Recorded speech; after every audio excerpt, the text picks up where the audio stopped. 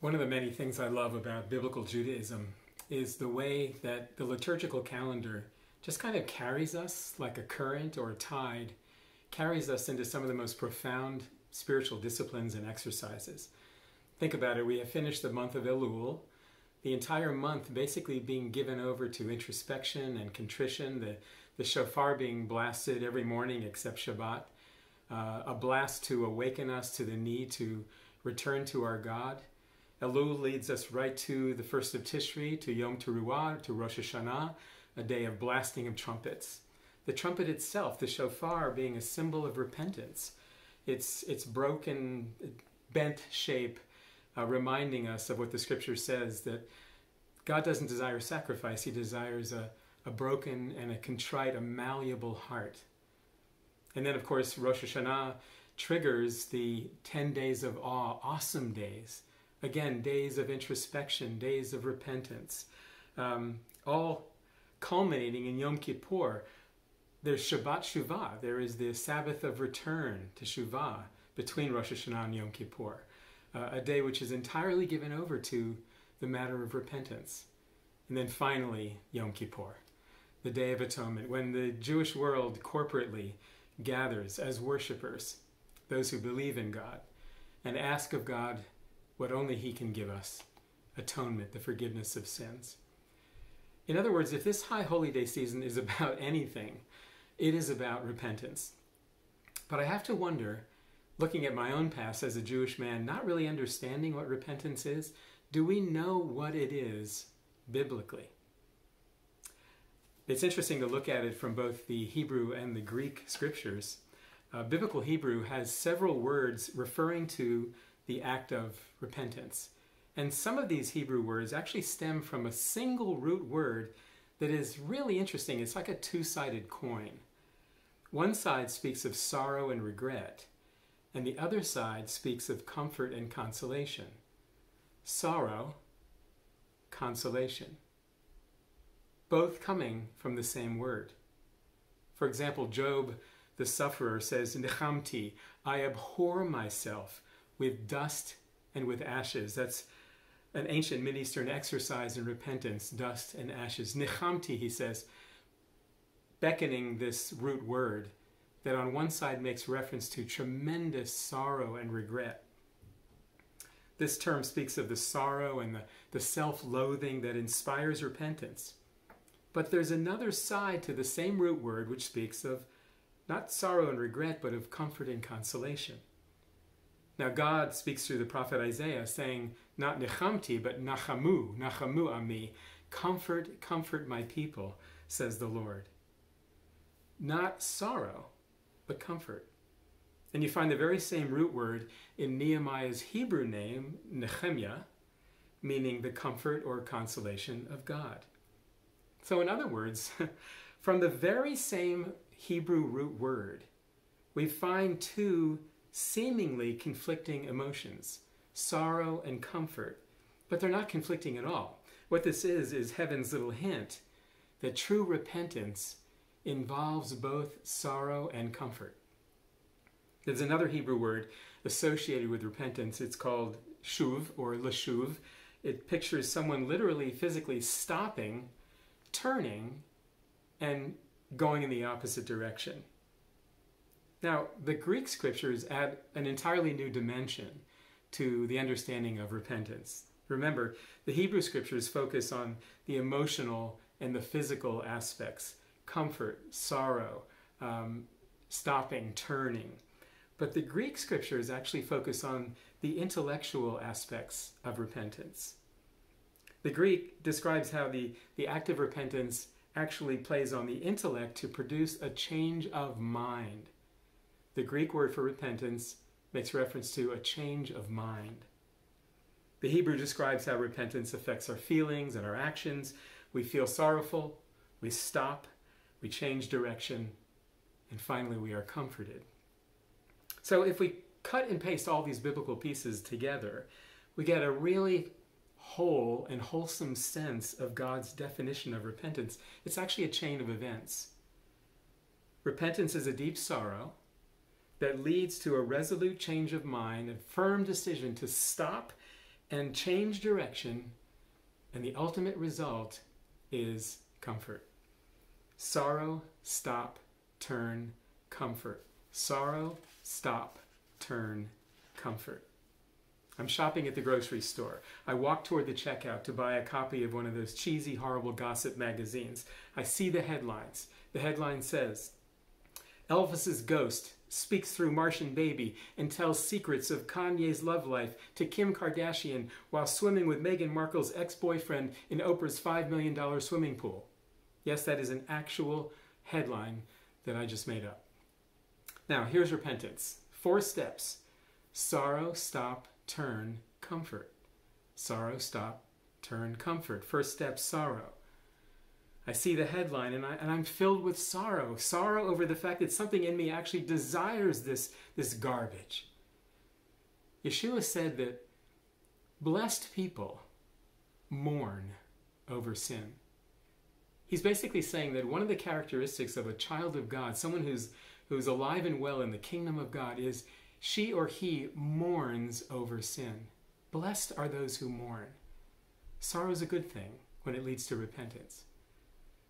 Uh, James chapter 4 in the Brit on the New Testament, says, quote, Purify your hearts, you double-minded. Lament and mourn and weep. Let your laughter be turned to mourning and your joy to gloom, and he will lift you up. You see, true repentance starts with sorrow, with lamentations, with mourning, but it doesn't end there. Step two is stop. You stop, you, you change your mind. Okay, that's it. I will never buy this gossipy garbage ever again. Now that's good. Okay, but an earnest change of mind doesn't end there. It leads to action. Step three turn. I'm moving away. I'm turning. I've changed direction. I'm walking away from the thing that was feeding my flesh towards something that is feeding my spirit. I am turning from something the world values and esteems to something that my God values and esteems. Which brings us to the very best part, step four. I am comforted. Now, this is critical. Don't diminish its importance. If you're not comforted by your action, you probably haven't experienced true repentance. All right, you may feel the sorrow, step one. You may change your mind, step two. Okay, you may stop and turn, step three. But if Nehemiah, if the comfort of God is not the end result, then you haven't received all that God has for you in repentance. You may have turned in the wrong direction. Now, I'm going to camp on that for just a moment because it's kind of a big deal. See, religion, and when I speak of religion in the sense, I'm talking about all the man made systems, all the man made strategies for trying to, to be reconciled with God, for trying to be better people, for trying to overcome the problem of sin, mostly through behavior modification or through some series of performances. Human religion has done a great job of teaching repentance as a normal part of life, except for one fatal error it has failed to tell us where to turn. And for not understanding where to turn, we have not understood true repentance and never experienced the comfort that comes of it. I mean, let's face it, you know this. Repentance has gotten a very bad reputation because religious folks basically have told us that it means giving up fun stuff. Okay, that doesn't lead to comfort, that leads to regret and resentment, not comfort. Again, the problem is religion hasn't taught us where to turn. Let me give you some examples from the Jewish world. This is Arthur Hertzberg. He's a very prominent lecturer on Judaism. Dr. Hertzberg said this God as a father chastens his children to remind them of their proper dignity and character. That's good. He goes on Repentance is therefore in Hebrew teshuvah, meaning returning, man's turning back to his truest nature. What? Turning back to your truest nature. I mean, the Bible says that man's truest nature is corrupt. It is, it is perverse. Jeremiah in chapter 17, verse 9 says that the, the heart, the, the truest nature of humanity is desperately wicked. So wicked we can't even understand it. Return to our truest nature? Elsewhere in the scriptures, in the Bible, it talks about a dog returning to its vomit and a pig returning to its wallowing. What it's making reference to here is that you can teach a dog some tricks, you can dress up a pig, but eventually it'll always turn back to its truest nature. A dog will always return to its vomit, disgusting, and a pig to its wallowing. Return to your truest nature? No. To return to my truest nature would be like a prisoner being released from prison and then rushing to get back into prison. It makes no sense at all. Here's another example of this problem of, of turning in the wrong direction. Rabbi Harold White of Georgetown University in Washington, quote, It is the capacity of every human being to engage in teshuvah, to turn not to the hidden face of God, but rather to the God that dwells within. Friends, if that is the supreme purpose of repentance, not to return or turn to our sovereign creator, but rather to turn within to our truest nature, which the Torah says is twisted and defiled because of sin. And if we are to turn to the God that dwells within, which the Bible says is the root of all idolatry, friends, if we can only turn within, not only will we not find comfort, we will not find salvation. We'll not find forgiveness of sins, which is what this Yom Kippur is all about. Listen to the Jewish voices which truly spoke for God. These are the Hebrew prophets. Isaiah in chapter 31. Return to him, the Almighty, against whom the children of Israel have deeply revolted. Isaiah chapter 44, God is speaking through the prophet Isaiah. He says, Return to me, for I have redeemed you.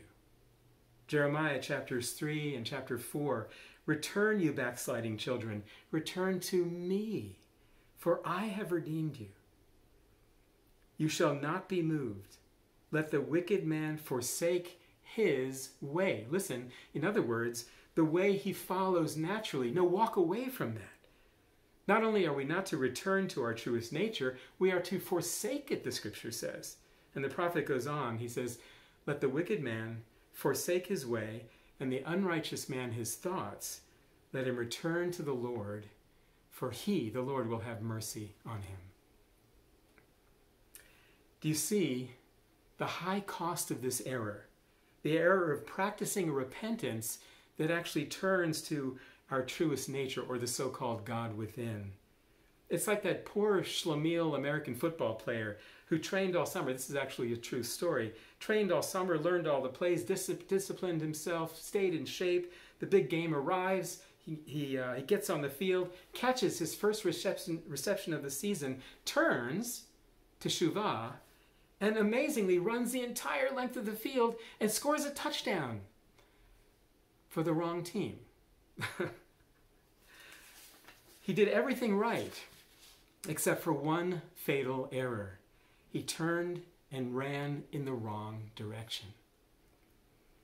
It breaks my heart that so many of my Jewish people have been training for so long, learning the plays for so many centuries, working out, preparing for repentance, doing everything right except for that one fatal error. Every year, when the High Holy Day season begins, that season of repentance and return, so many Jewish people turn within and run the wrong way. Score one more for the enemy. The Hebrew prophet was sickeningly accurate when he said these words, quote, "For lack of knowledge my people Israel perish." The rabbi and apostle Paul said, "They, Israel, have a zeal for God, but not according to knowledge." So speaking of knowledge, let's just rehearse what we know so far. We know that repentance from God's perspective involves four steps, if you will. Forgive me for equationizing, but you see this in the scripture sorrow, decision, turn, comfort. Sorrow, stop, turn, comfort. Now, if repentance turns sorrow into comfort, tell me, is it a good thing or is it a bad thing? It's a good thing. It's a gift. It's not a religious man's duty, it's a righteous man's reward. I mean, most of us, when we hear the word repent, be honest. Don't you think of the guy on the street corner, you know, with the black suit and the black tie and the big black Bible and the big black furrowed brows, and he's mad, you know? Repent, sinner! He's yelling at everybody who's going by, telling them to repent. You may remember the, the guy in uh, California years ago, if you're, some of you are old enough to remember, Holy Harold. Holy Harold was that guy. He stood on busy street corners, black suit, black Bible, screaming at passersby. Holy Harold did not get a lot of bar mitzvah and wedding invitations because he was representing something that was odious, something that was disgusting to the world around him. This is not repentance. Repentance is not bad, it's good. Listen, it turns sorrow into comfort. Good grief, we take drugs for those kinds of results. we eat comfort food, you know, potato chips and ice cream for those kinds of results. And here, God is giving it away for nothing. It's a gift. And not only that, unlike comfort food, it's healthy for you. And still, some of us, we're just not getting it, that it's good. Or at best, we think of it kind of like, you know, when someone hands us a breath mint. Have you ever had that happen? You know, okay, I might need it. It might be good in that sense, but uh, I didn't like the experience. Sometimes we think of repentance in the same way. All right, so here is a litmus test. Here is a surefire way to tell whether or not you understand repentance as God meant it to be understood. Here it is, very simply. If repentance is distasteful to you, I promise you, you're not getting it. If repentance to you is the spiritual equivalent of, of taking a tablespoon of cod liver oil, ugh, then you're not catching it. And to help you catch it, I'm going to take you back to a passage to which I alluded a little bit earlier. It's from Isaiah chapter 55. Isaiah chapter 55, and I'm reading verses 6 through 9. Seek the Lord while he may be found, call upon him while he is near. Let the wicked forsake his way and the unrighteous man his thoughts. Listen, let him return, shuv, to the Lord and he will have mercy on him, and to our God, for he will abundantly pardon. For my thoughts are not your thoughts, nor are your ways my ways, says the Lord. For as the heavens are higher than the earth, so are my ways higher than your ways, and my thoughts higher than your thoughts. Let the wicked forsake his way, and the unrighteous man his thoughts. Now, don't get hung up on the words wicked, wicked or unrighteous. You know, I'm not wicked. How dare you presume I'm.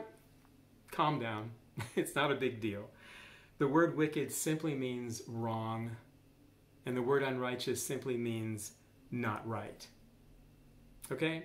So if you can do this subtly, I want you to look around where you are right now. You're going to notice somewhere, someone right in your vicinity who has on occasion been wrong, yes, even morally wrong, and that person is sitting in your seat. Sorry. Welcome to Yom Kippur. Let the wrong person forsake his way, God says in Isaiah chapter 55. Now, the word forsake just means let go of. Let go of. And, and this is a king size clue why some folks find it so hard to repent. It's because there is stuff we just don't want to let go of. My two youngest boys, uh, Noah and Avi, uh, when they were little guys, each one of them had one end of a doomed plastic dinosaur. They were tugging on this dinosaur. Neither of them really wanted the dinosaur, they just wanted the other one not to have it. Okay? I mean, if you've ever wondered why di dinosaurs became extinct, come over to my place. So these two boys, white knuckles, tears, and sweat, I, I had to finally pry their, their little blood-starved fingers from this poor dead dinosaur because they just refused to let go. Dear friends, you cannot repent without letting go. This is what makes it so scary for some of us. Be honest, because some of the stuff that we're clinging to is stuff that we think is attached to our identity or our personality or our passions. Let go. No, I can't do that. That would be like giving up a part of me. You know, in, in the late 70s, I started reading my Bible for the first time. And the more I read, the more evident it became that, as distasteful and uncomfortable as it was, if I wanted to have a relationship with God, I was going to have to deal with the problem of my sin. And if I was going to deal with the problem of sin, I was going to have to do it God's way, which appeared to involve Jesus, and I really didn't like that as a Jewish young man. But I kept reading. And the more I read, trying, really trying to understand objectively, knowing my own prejudices, the more I read, the more obvious it became that God did exactly what he promised he would do.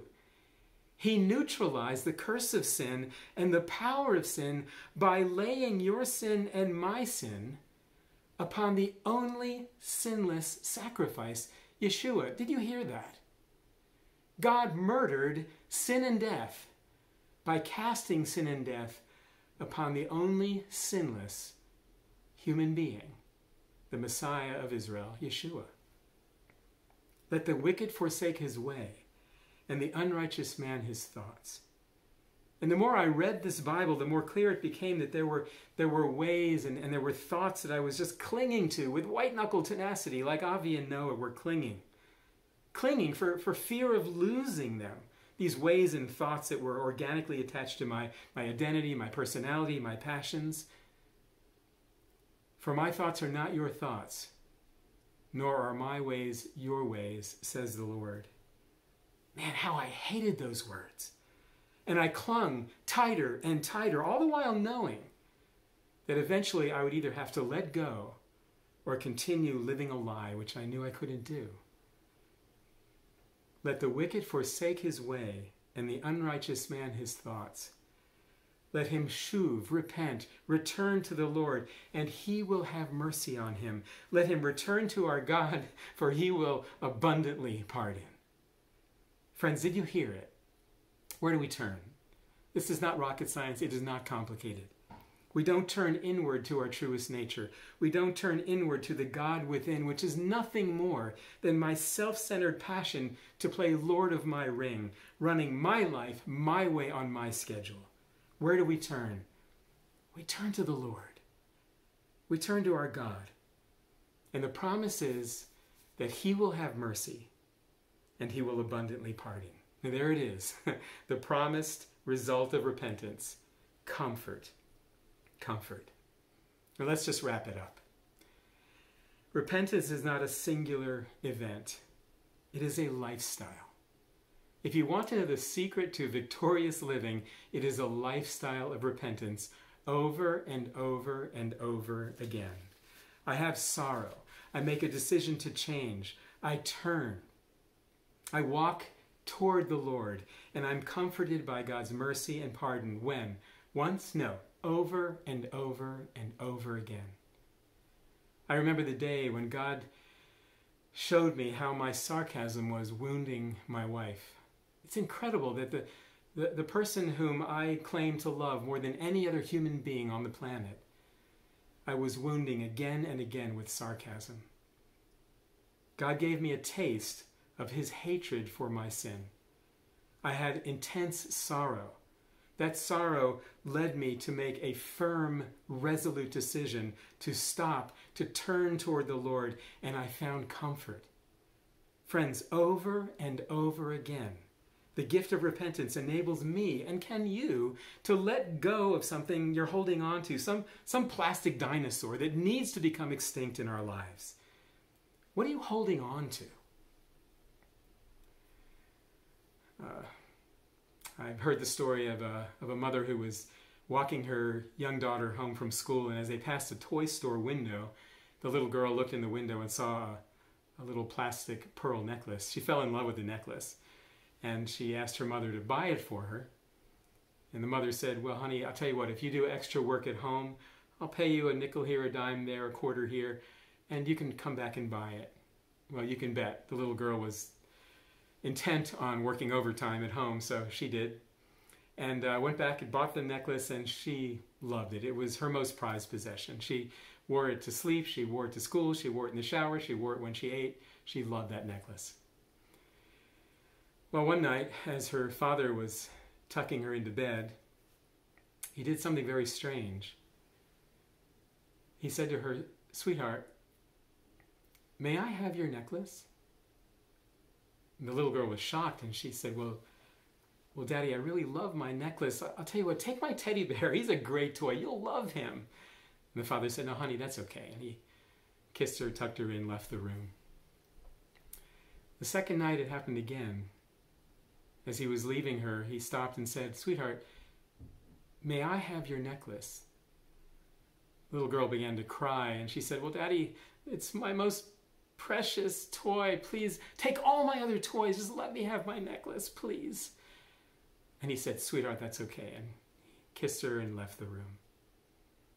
The third night she was prepared. Here, Daddy, you can have the necklace. The father took the necklace and he put it on the bedside table, reached into his back pocket, and pulled out a genuine, valuable pearl necklace for his little girl.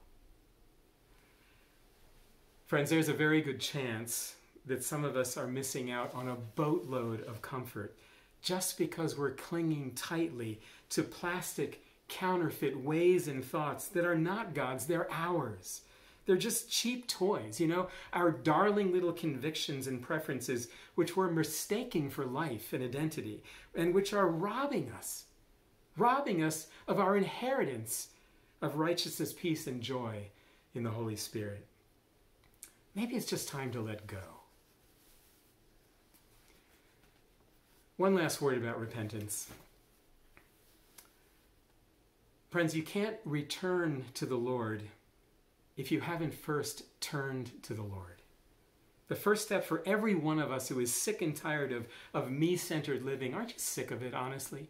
I mean, what fruit has come of it that's not plastic and hollow and dead?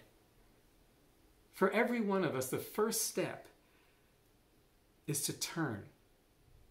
Now, it doesn't have to be dramatic, you know, just turn. And you might be asking, well, why do I have to do that? Why do I have to turn? Well, here's why. We have to turn because every one of us was born in a condition where our back was turned on God. And if you don't believe that, just listen to yourself, honestly. Just listen to how you fuss and fume every time you don't get your precious little way. Listen to how you, you declare that's not fair and how you, you strive for justice when it benefits you and you run from it when it doesn't. And by the way, you don't want justice. justice is getting what you deserve. You don't want that. What you want is mercy. Mercy is getting is, is, is not getting what you deserve. And actually better than that, you want grace. Grace is getting what you don't deserve. Forgiveness. Kippur atonement, reconciliation with God, fellowship with Him. That's what you get through repentance. Well, our natural condition is with our back turned toward the Lord. This is the condition we inherited from Adam. It, it is the condition we actually die to when we're born anew in the Messiah. And in this condition, this Adamic, this old, natural, twisted, perverted way. Every step we take naturally is a step away from God and away from heaven. You know, I remember this this uh, late afternoon when I was running on the beach. It was a beautiful day, and the sun was actually setting behind me, and I was running on the beach, just having a little jog. And I noticed as the more I ran, the longer my shadows were becoming in front of me. I was literally running into the darkness, and the more I ran, the the the deeper the, the shadows became, the the greater the darkness was that was consuming me. But I noticed something, and it was kind of an epiphany. At any moment, at any moment, whether I'd been running for a minute or an hour or a lifetime, all I had to do was turn, and I would be instantly bathed in the beauty and the comfort of the sun. Friends, some of us have been running a long, long time toward the shadows. And the further we go, the longer and darker, you've noticed it, the longer and darker the shadows become. Each step taking us nearer to the end, nearer to the grave, nearer to an endless eternity, a darkness that never ends. For each and every one who is on this course, there is one essential action he or she must take. He must stop, change their mind, turn. And this is the amazing thing. The moment you turn, you will find yourself in the light, comforted without even a trace of darkness before you. That is the promise of God, and that is the reward of repentance.